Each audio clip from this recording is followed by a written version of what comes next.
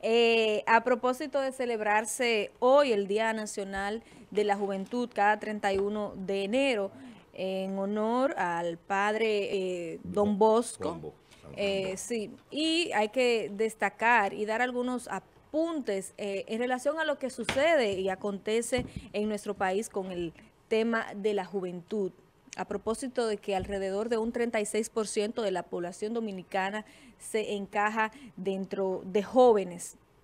Y hace unos días eh, sale desde el Ministerio de la Juventud un programa, vamos a decir, un tanto eh, interesante, que busca lograr objetivos muy puntuales en temas del empoderamiento de los jóvenes, eh, la igualdad o la equidad, para la juventud en los aspectos educativos, el tema también que tiene que ver con la prevención, la disminución de los embarazos en las adolescentes, de que los muchachos no estén teniendo, vamos a decir, eh, parejas y que de alguna forma eh, irresponsable, pues niños tengan niños porque los padres tal vez no le dan ese seguimiento o se les sale de control por las causas que fuere. Ese no es el tema.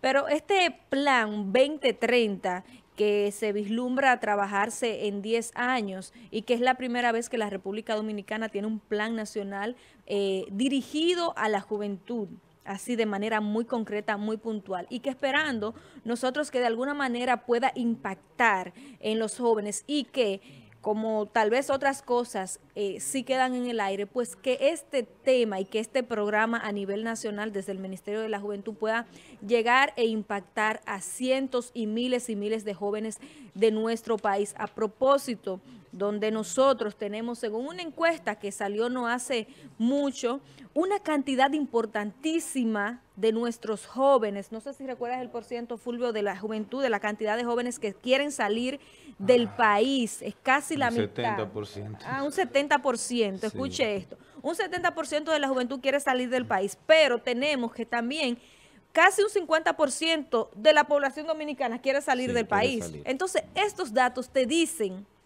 que hay que revisar las políticas que se están haciendo desde el gobierno, que están haciendo los funcionarios, que toda casi la gente se quiere ir de la República Dominicana. Y si salimos ahí, salimos a las calles a hacer un sondeo y le preguntamos a una cantidad de gente, de esas que se les pregunte, es un porcentaje importantísimo, va a decir que sí, que se quiere ir de República Dominicana por las pocas oportunidades que tenemos en lo que tiene que ver con empleo, con el tema educativo, a veces la calidad de la educación, y la seguridad también. Usted dura y me, me, me suscribo al aspecto educativo. A veces duramos, ¿cuánto? 15, 10 años preparándonos cuando salimos de la universidad o del liceo para usted salir con un currículum debajo del brazo, para ganar un sueldo de 8, 9, 10 o 12 mil pesos, donde la canasta básica está por encima de los 20, 25 mil el primer quintil. Entonces, como tú dices, pero cómo, ¿cómo es que lo hacen? ¿Cómo es que sobrevivimos cuando tenemos un panorama, un panorama como este? Otra de las cosas que quiero presentar ahí en pantalla, que me pongan por favor, es lo que acontece eh, en, este, en esta información, en estos porcentajes. estos datos son del 2018, debo decirlo, tienen dos años. Y es relación a la tasa del desempleo en nuestro país. No sabemos, ahora mismo no tengo el dato de cuánto está para el 2019, el año que pasó. Pero para el 2018, la tasa de desempleo en República Dominicana es de un 29.4%, la más alta de América Latina y el Caribe. Yo este creo que haya mejorado porque en el 19 disminuyó la cantidad de ofertas de empleo. Bien. Entonces, este estudio es realizado por eh, SEDUCA y un grupo de instituciones ligadas al ámbito educativo y de la sociedad civil, donde arrojaba esta información. Es muy preocupante cuando nosotros tenemos que de 100 jóvenes, 30 están desempleados. ¿Qué te dice eso? Que tú vas a tener una cantidad importante de muchachos que están en las calles, que están en su casa, que están sin hacer nada, que no van a tener ingresos de manera honrada por el trabajo diario y que posiblemente irán a delinquir o a hacer cosas negativas. Son posiblemente delincuentes que van a salir a las calles. Cuando tú tienes un muchacho 24-7 en tu casa, 24-7 en el barrio, jugando dominó, fumando juca, oyendo reggaetón. sin tener ingresos y posiblemente sin estar en las escuelas o en las universidades, ya sabemos qué va pasando con este sector importantísimo de una sociedad, que son sus jóvenes. Y a propósito, hace unos días eh, he venido conversando y como eh, y me llegaba a la mente, decía, bueno, pero veo un interés marcado de los políticos, de los candidatos, de que supuestamente sus programas irán dirigidos a la juventud. Un discurso más, porque la mayoría de ellos ya han, estado en otras funciones, han sido eh, trabajadores del Estado, han estado en cargos y no han hecho lo que han debido de hacer.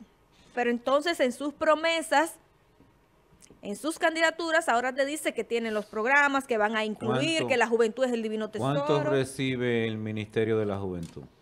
¿Cuánto es el porcentaje? Apenas son 600 eh, y algo de millones de pesos, de 140 creo, que tú dividiéndolo entre la población joven de República Dominicana es un aporte pírrico. ¿Cuánto? Es pírrico. Mira. Lo que hay de inversión en la juventud. Es, es simplemente absurdo y en investigación no, no pasan de 350 millones de pesos al año también. Eh, es decir, que del dicho al hecho hay tremendo trecho. Te quiero para elecciones, te quiero para votos, pero no te tomo en cuenta en, en, en, la, en la política de planificación de desarrollo. El joven es el activo más importante de cualquier nación para intervenir directamente con su fuerza y su talento en el desarrollo de, cualquier país. Lo lamentable de esto es que la mayoría, que la mayoría de ese porcentaje de jóvenes desocupados, el 58% lo, eh, eh, se refiere a mujeres. Son mujeres desocupadas. Ahí va. sin oportunidades. Mira una cosa. Y es más grimoso el futuro cuando el gobierno actual para el presupuesto 2020 estableció y quitó, sacó de ministerios importantes y lo llevó al ministro de la presidencia. ¿Cuántos fueron, Fulvio, que tú diste el dato? Dos mil millones de... Sí, es decir, a 600. Para un ministerio que debe de operar conforme a una realidad que de hecho a 50 años de 50 años hacia, acá no ha variado en gran medida las oportunidades de la juventud y se agrega que el futuro de muchos de los jóvenes está íntimamente ligado al apoyo que reciben de sus propios padres. Es decir, tendríamos que son comerciantes, tendríamos que son eh, de cierta forma profesionales que sostienen y dan una vía de alternativa para sus hijos, pero no porque el Estado haya un proceso de inclusión y de seguridad para estos jóvenes que están saliendo de las universidades y tengan un empleo seguro. Y lo está prometiendo ahora. Y, mira, lo, lamentable de, todo esto es que, por ejemplo, eh, Fulvio da los datos de, algunos aspectos, por ejemplo, lo que se invierte en investigación en nuestro país, que es prácticamente cero. Lo que se invierte en la juventud, y vemos que en otros aspectos, como la sobrevaluación, la sobrevaluación que se da para la construcción de obras, las comisiones que se manejan para que se puedan, para que aprueben proyectos que van en detrimento de la sociedad, que aún si bien estos sean beneficiosos por lo que se va a hacer, pero en la manera en que se consiguen, en que lo logran, ¿a qué costo?